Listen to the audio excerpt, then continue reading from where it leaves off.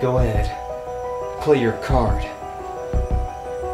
Strange. He must be up to something. He only has three cards left. What could their plan be? Now all I need is for them to play one more red, and I've won. Ah, I figured it out. He's trying to bait me into changing the color.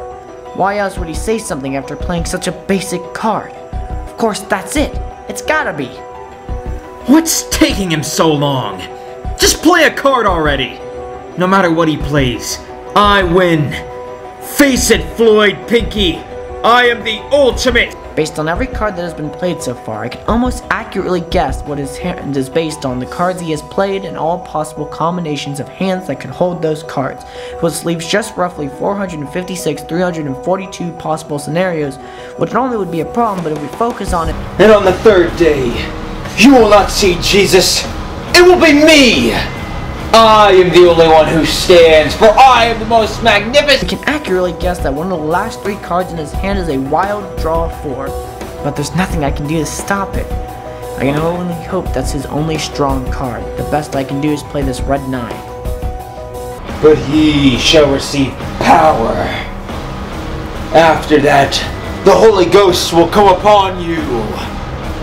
And ye shall be witness unto both me in America, and in all states, and in the US, and unto the uttermost part of the earth. For it is I, which worketh in the. Wait, he's playing his card.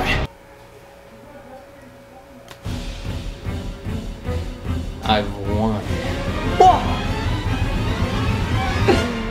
Uh.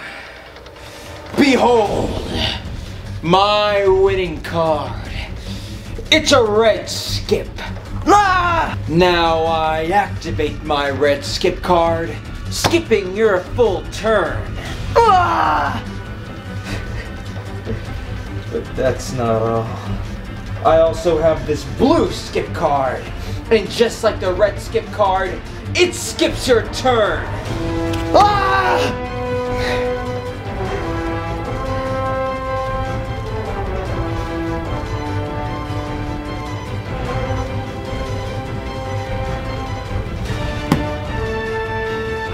Uno.